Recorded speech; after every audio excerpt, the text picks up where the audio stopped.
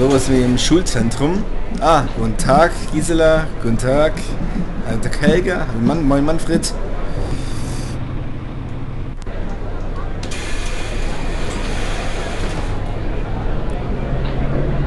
So, dann weiter geht's im Text.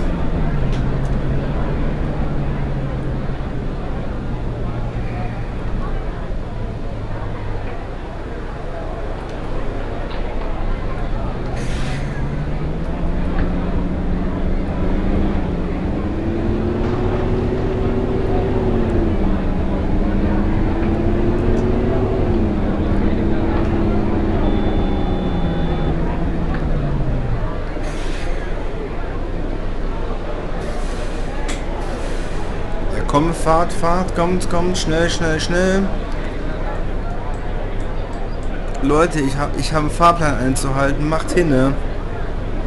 Och, Trolli hier von, komm, gib hinne, mach Gas.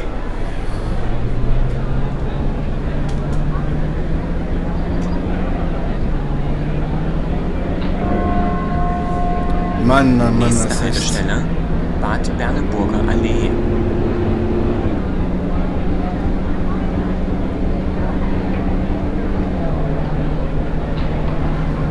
Es ist, es ist wirklich schlimm in Autofahren. Es ist, es ist, äh, ja. Übrigens, ich habe in zwei Wochen die praktische Autoprüfung. Und ich, ich erhoffe mir natürlich auch sehr, durch, durch das ich auch Auto fahre, mehr Praxis auch zu bekommen. Auch durchs Autofahren. Und eventuell mache ich dann vielleicht ein paar ja, Reviews auch von meinem Auto, wo ich dann haben werde. Was mich gerade zur, zur nächsten Frage bringt, an euch wie immer, alles, in, alles bitte in die Kommentare, damit ich auch darüber informiert bin oder per Privatnachricht, wenn ihr das öffentlich haben möchtet oder wollt. Hm. Was findet ihr als Erstauto gut?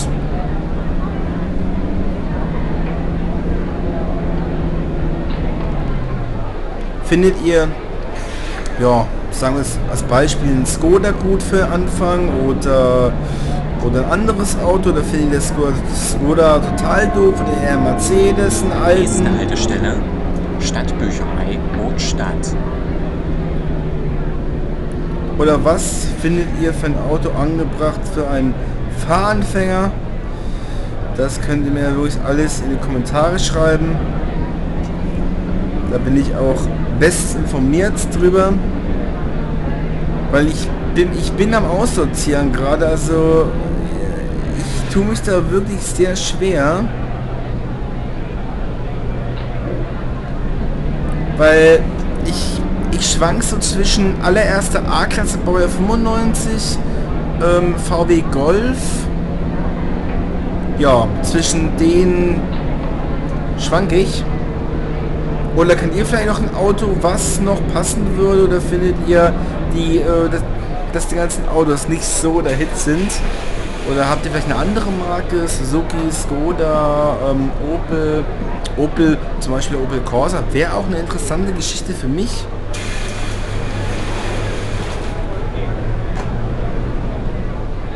Aber sie sind halt...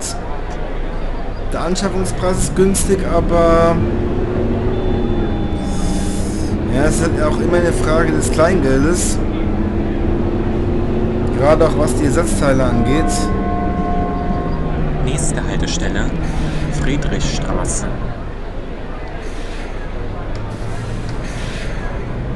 Es wäre es wär ansonsten fast ein Rollstopp gewesen.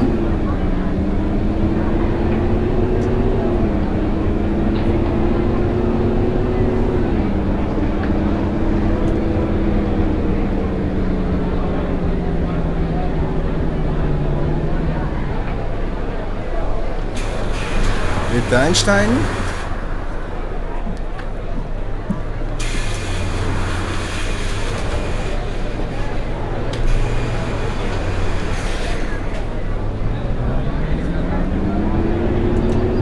Dankeschön fürs Warten.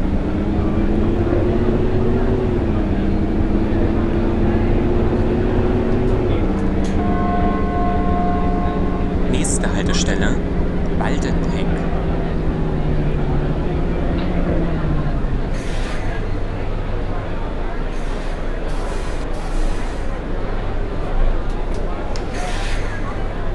Also schauen wir mal.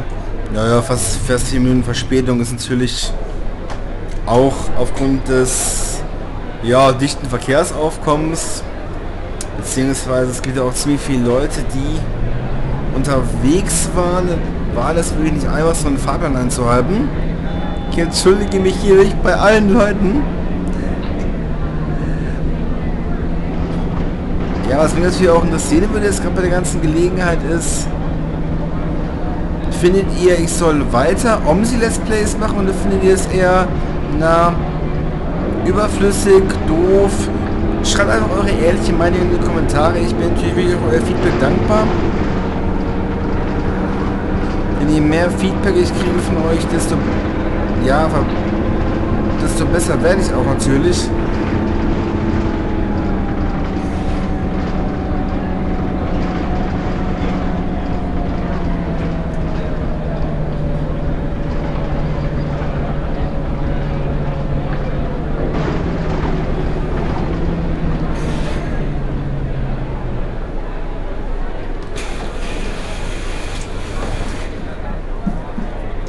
Tag.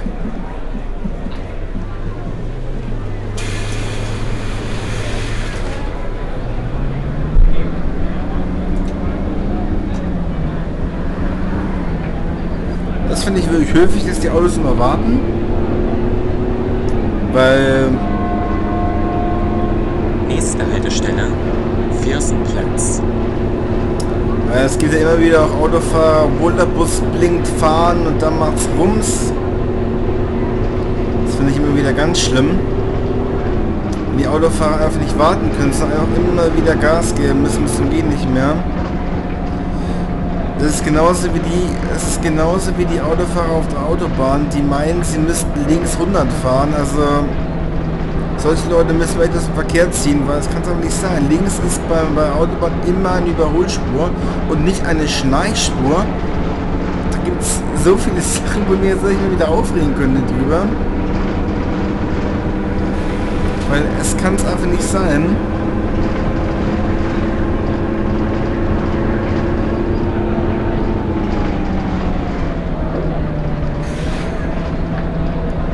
wäre ich fast ein bisschen zu schnell unterwegs gewesen. Holl, die Waldfee. Eieieiei, das war natürlich knapp.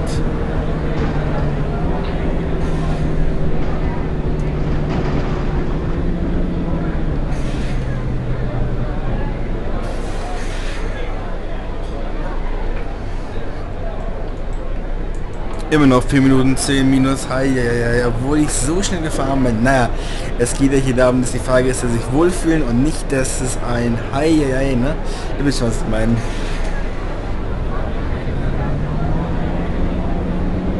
Und nicht, dass sie durch die, durch die Gegend geschleudert werden.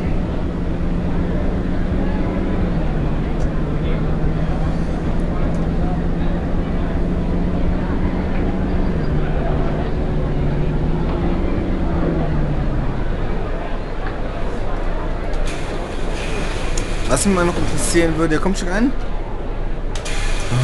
Gerade nicht.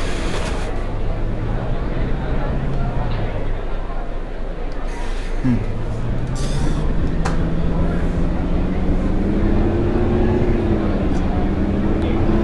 Das nenne ich mal Bug der übelsten Sorte.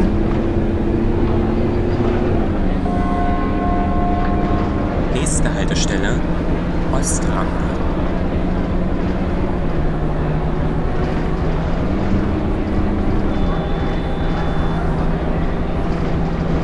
Ich habe natürlich auch so im Vorfeld noch ein paar Gedanken gemacht, gerade auch wenn es in die Community geht. Ich bin ja jemand, der, wie viele von euch wissen, sehr Community offen ist, also der wirklich auf euer Feedback eingeht und keiner, der, sagen wir zwar erst ab 100 Daumen nach oben oder erst ab 100.000 Abonnenten komme ich meinen Finger. Da gibt es ja leider Gottes zu viele davon. Also es gibt einige YouTuber, die einfach sehr, sehr viele Leute verarschen